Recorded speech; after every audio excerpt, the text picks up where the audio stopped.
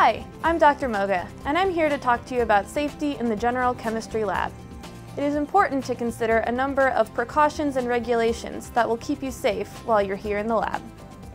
In order to work in the lab, you are required to read, understand, and follow all safety procedures in your lab manual and lab handouts. Failure to do so will result in removal from the lab. There is a safety section in your manual that outlines all of these procedures. Students who are pregnant or have medical conditions that cause a sudden loss of consciousness, including pregnancy, high blood pressure, epilepsy, and diabetes, should consider if they are capable of safely working in the lab. These students should consult with a physician and receive permission from them and are encouraged to inform the TA of their decision. Proper clothing is required to work in the laboratory. Shorts, skirts that hit above the ankle, spandex, leggings, jeggings, and other thin, skin-tight materials are not appropriate to wear in the lab. It is required that all students wear long pants or skirts that go all the way to the ankle while working in the lab. Long pants with holes are not acceptable lab attire. Absolutely no sandals or open-toed shoes are permitted in the laboratory. The top of your foot must be covered in case of spills or flying glass. Students not wearing the proper lab attire will not be permitted to enter the lab, and no extra time will be given to make up any missed experiments. If proper lab attire is found after a student is sent home, they may return to the lab during their regularly scheduled period and continue, but time outside of this window will not be given. You are required by law to wear ANSI-approved goggles at all times while in the chemistry laboratory. Violation of this rule can result in severe consequences. Put your goggles on before you enter the lab, and do not remove your goggles until you leave the laboratory. If you are having trouble seeing through your goggles due to fogging, wipes are available at the front of the lab room and on the lab supply cart in the hallway. You must step outside into the hallway to use these wipes.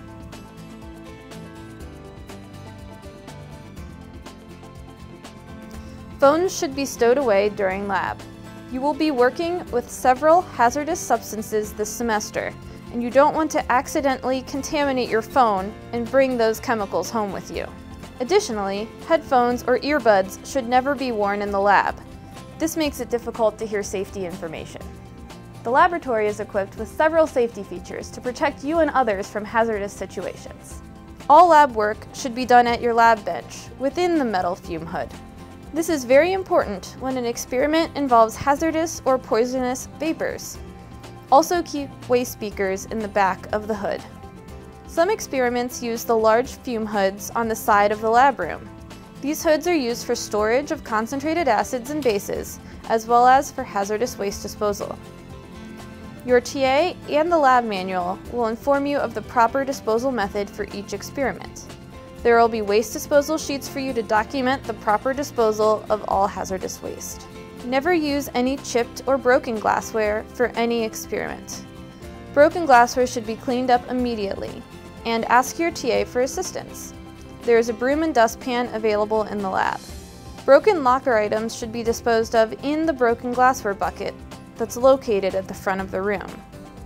Disposable glassware, such as the 4 and 25 milliliter test tubes, droppers, disposable pipettes, and glass vials should be discarded in the disposable glass waste bucket, regardless of whether or not they are cracked or broken. The tap for distilled water is located between the two side hoods. Gloves are provided between the waste hoods. Always treat your gloves as contaminated. Never touch anything you wouldn't want to contaminate. This would include your skin, clothes, cell phone, and your neighbor. Never wear gloves in the hall or open the door with a gloved hand. While working in this lab, you will be using chemicals. It is important to read and understand the hazards these chemicals pose. For any chemical spills that occur in the laboratory, contact your TA for assistance. There is a spill kit at the front of each lab. All spills must be properly cleaned up to ensure the safety of yourself and others. If the spill affects your clothing or skin, use the appropriate sink, hose, or shower to flush the area with water. Most accidents in lab are similar to what might happen at home. Treatments of cuts and burns require the same common sense approach. Small cuts and burns should be rinsed with water. Band-aids are available at the window. Deep or large cuts, more extensive thermal and chemical burns may require medical attention, which should be discussed with your TA. You or another student would be sent to the window to call for help. Small beaker fires may be extinguished by smothering the flame using a watch glass. For larger fires, fire extinguishers are available at the front of the lab. Contact your TA for use of the fire extinguisher. If a fire alarm goes off, everyone will need to exit Celeste. Make sure all chemicals are safely in the mini hoods and equipment is turned off. Exit the labs efficiently at the direction of your TA.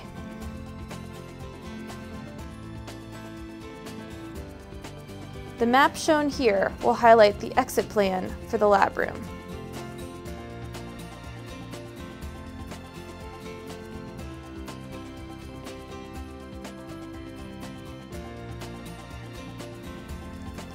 Should your clothing catch on fire, remember to stop, drop, and roll to extinguish the flames. Stop what you are doing, drop to the floor, and roll to extinguish the flames. After the fire is out, Cool the burned areas with water until professional help arrives. Burns may occur when very hot objects are picked up when they don't look or appear to be hot. Chemicals that are hazardous must be properly disposed of. If a corrosive chemical is ever spilled on your skin or clothing, large amounts of water should be applied immediately and for a minimum of 15 minutes. Small spills on the arms or hands can be rinsed using the sink. Flexible hoses are available at the center of each row of benches. Always notify your TA of any spill or cut. For larger spills, there is a safety shower at the front of the lab room. The shower handle should be down at all times and the shower area accessible. Should you require the shower, remove affected clothing and pull the handle to use the shower. Modesty is not a concern when your skin is in danger. Flexible hoses are available in the men's bathrooms for large spills on the lower body. Should chemicals come in contact with your eyes, there are eye wash stations at the front of the laboratory. For any serious accident, your TA will immediately send someone to the window so 911 can be called. After you have read the safety statement and watched this video, you are required to electronically sign a copy of the safety statement indicating that you have read, understood, and will follow all safety precautions in the lab manual. Always remember to wear your goggles in the chemistry laboratory, because you never can tell what just might happen.